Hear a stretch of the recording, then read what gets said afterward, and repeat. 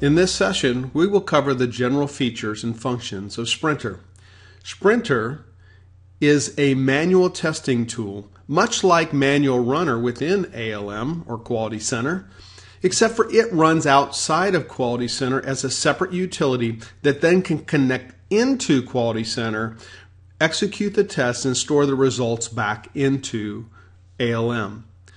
The unique feature or capability of Sprinter is that it has the ability to capture all of the screens while you're executing, as well as capturing all of the steps that you are executing while you're running the test. Right now, you'll see on the screen I have a Sprinter window open, and you will see that there is a test called IE that is ready to run. And how you would select a test is you would open Sprinter, go to open. You would be logged into a project, and in this case, you can see I'm in the test lab. There's an instructor folder here, a test set called test, and you can see that one of the runs here is called IE, and that's the one that I'm pulled in. So I've got that test pulled in, and there's some important things to note while you're looking at this. On the le- right hand side here, you can see the general information about this test case its name, what test set it's a part of, who owns it or who's the person who created it, the name of this run, and that's a unique date and timestamp.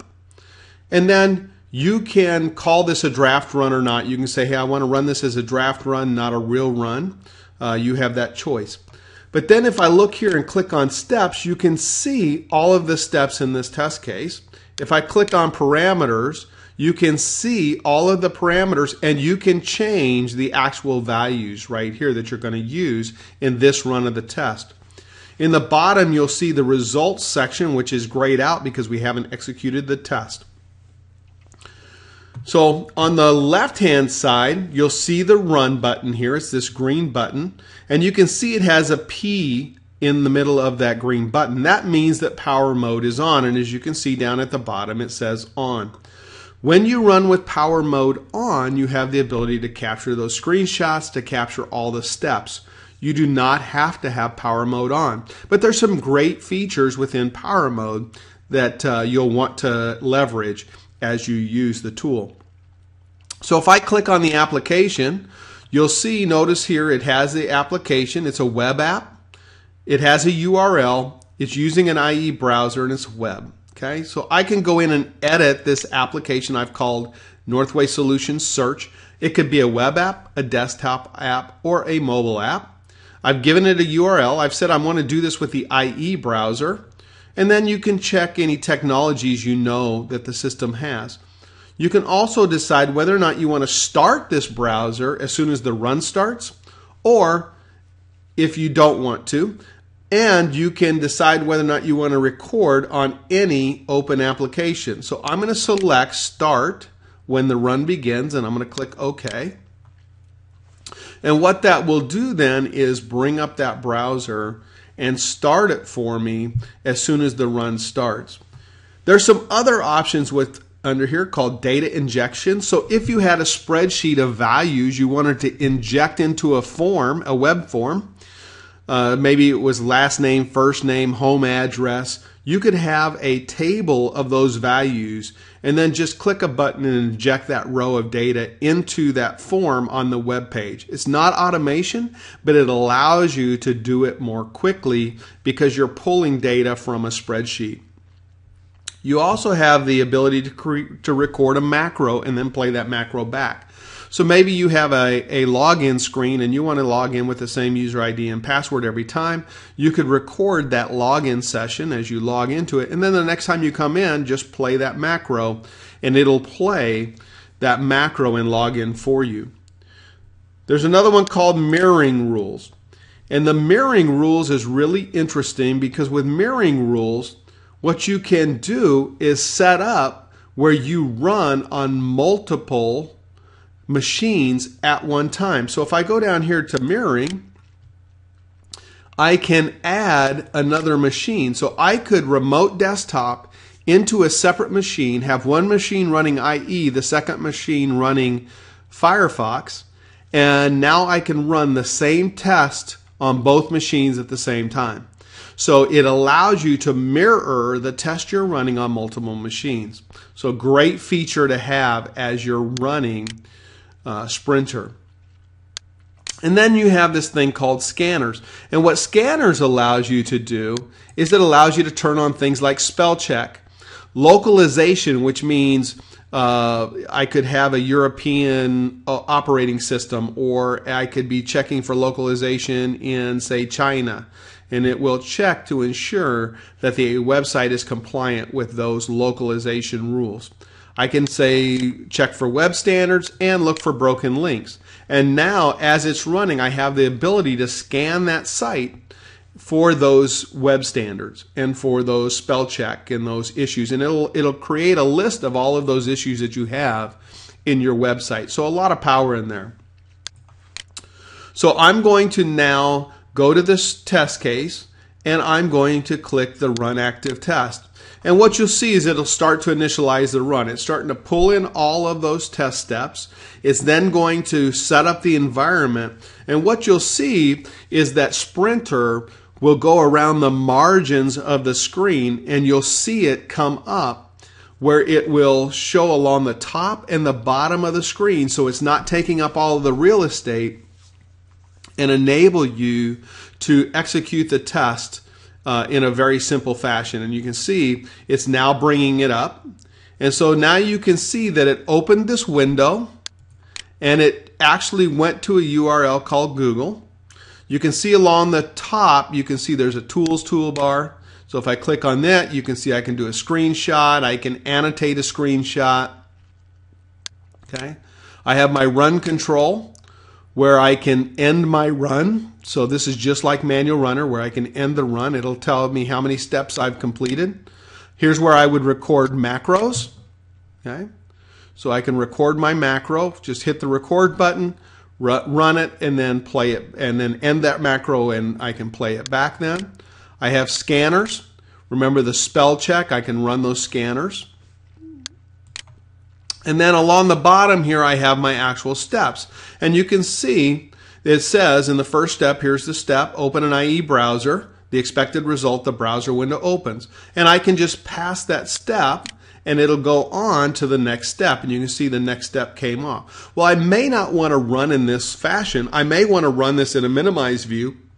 And I can do that by just clicking on this show subtitles button, which is like a little icon for the monitor. When I click on that, notice that it put along the bottom here this bar that says in the browser address bar, enter the URL, Bing, click, click uh, enter. The Bing toolbar opens. So I'm going to actually go in here now and put in Bing and click my enter button and now Bing is there. Okay, so I'm on the Bing site, so I'm going to pass that step. Notice I just click the pass. Okay. Now on the browser, click the enter button. The page should refresh and go to the search page, which it did, and I'm going to pass that. In the Bing search text box, enter Microsoft, so I'm going to do that. Microsoft. And I'm going to click enter or the search button and it's going to come up and it said the page should refresh and and it's hard to read there so I want to see what that um, result's supposed to be. So I'm going to actually go back from here so I can see the whole result. And it says the page should refresh. Microsoft should be in the top five results. Okay. And it is. It's number one. So I'm going to actually go put an actual result. So I click on the actual result button and I'm going to put Microsoft is the number one result. And as you can see, I can't spell. There we go. But I want an image. So an image is worth a lot more. So I'm going to actually save the screen as the actual result. Okay. And notice it captured that screen. And then if I click on the annotate button, what that's going to do is there's that image. I can now go in here and I can grab an ellipse and it's now going to be red and I can circle let me make that smaller I can circle that result. So now I can circle that result and you can see that that result is the number one result okay? So now I'm going to save this. I'm going to save screen capture I'm going to, oops, cancel. I don't want to save it to my folder. I want to actually save the results. Okay, save to the actual results. Okay, which has been saved. And now I'm going to close this window and you'll see that that annotation is showing up on that result. Okay, so now I go back to my results Actually, let me go back to this minimize view. I'm going to pass that step. It says click the, uh, in the upper right hand corner, click the X, which I'm going to do. That will close the window. I now know I'm at my last step. I'm going to end the run. And it's now ending the run as you can see. And the result comes back as passed. And you can see here it's passed you can see that there were six actions. There were no defects, no defect reminders. You have the ability in Sprinter to say, you know what, I'm not ready to log the defect, but let me mark this so I'll remember it. And you can come back to that exact step and that exact screen and log a defect just like you were doing it during execution. Now notice there are a couple things here. There's user actions here now and there is a storyboard. If I click on user actions, you'll see everything that I entered, every step that I did within Sprinter. And now if I wanted to, I could generate a test and actually log it as a test case in ALM, or I can export it to UFT as a script. The great thing about this is I can now use uh, Sprinter to go capture those legacy test cases where I'm not the expert and I need a uh, an end user, somebody who's an expert in the system, to go in and do all of the steps. And I can turn on Sprinter, it's capturing all of their clicks, and then you can submit that as a test case. And when I generate a test, what that's going to do then is make it into steps, and I can put expected results I can go in and modify it and then save that as a test right into Quality Center. So it's a way that I can very quickly create test cases from Sprinter.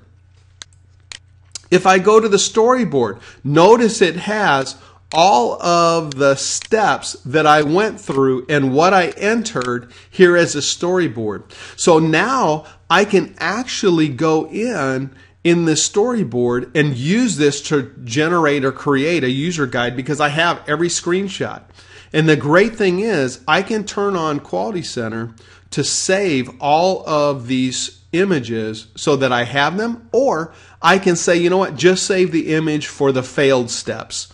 So you have a lot of ability within the tool than to create and use and export this to Word to use it later as a user guide, as a training guide.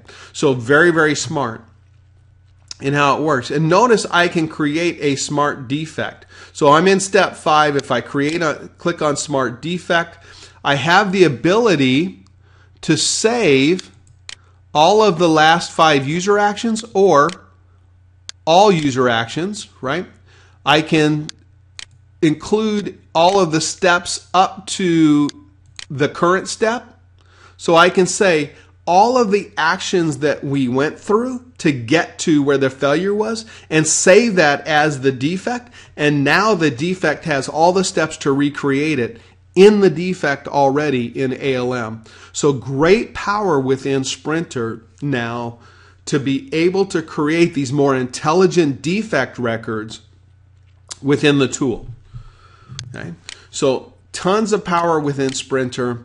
Sprinter using power mode is a very powerful tool um, to leverage for your testing effort.